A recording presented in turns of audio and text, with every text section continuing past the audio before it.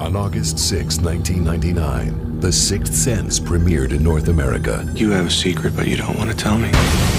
It became the number one thriller of all time. Cole, what's wrong? And its writer director, M. Night Shyamalan, became a powerful new force in movie making. I see dead people. Now, for the first time, comes the all new Vista Series DVD, The Sixth Sense.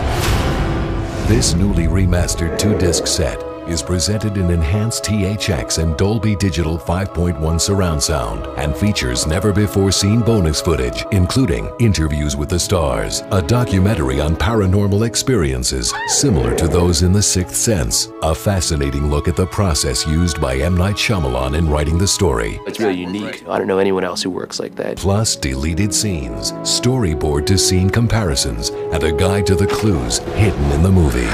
Experience again the movie that has haunted audiences the world over Don't move. and taken a permanent place in motion picture history. Is anyone there? The Sixth Sense. Please make them leave. I'm working on it. The all new Vista Series DVD, now available.